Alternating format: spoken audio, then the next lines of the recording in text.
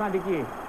Λιούνγκμπεργκ. Δεν υπάρχει offside ευκαιρία για τον Ανρί ο οποίος δεν θα μπορέσει να κάνει το 1-0 διαμαρτύρεται για χέρι ο Γάλλος ο Νταν δείχνει πως η μπάλα βρήκε απλά το δοκάρι και κατέληξε out Μάικελ Όουεν σε πρώτο πλάνο με το θύμισε αντί του Φάουλερ και νωρίτερα το φάουλ Όουεν έχει προωθηθεί και ο Χίπια εκτέλεσε ο Μέρφυ κεφαλιά από τον Χέσκι θα αποκρούσει ο Σίμαν η πρώτη μεγάλη στιγμή, η πρώτη μεγάλη ευκαιρία για την Λίβερπουλ Παλιά τώρα για τον Ιούγκμπεργκ, απέφυγε τον Βέστερβελ και μία αιστεία 1-0 για την Arsenal στο 27ο λεπτό του δευτέρου μέρους.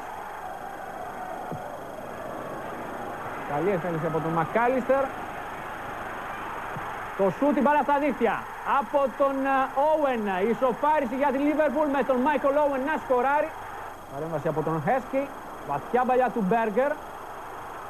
Και Όουεν στη μεγάλη περιοχή. Θα σουτάρει με το αριστερό η μπάλα στα δίχτυα. 2-1 για την Λίβερπουλ. Η μεγάλη ανατροπή στο Κάρντιφ.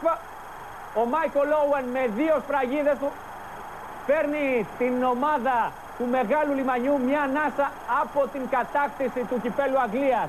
Ρόμπι Φάουλερ που είναι ο αρχηγός της Λίβερπουλ μαζί με τον Ρέντναφ σηκώνουν το κύπελο η στιγμή του τριάμβου για την Λίβερπουλ. Ολοκληρώνεται και από εδώ και πέρα φυσικά. Οι πανηγυρισμοί θα συνεχιστούν στον δρόμο προς την επιστροφή στο Λίβερπουλ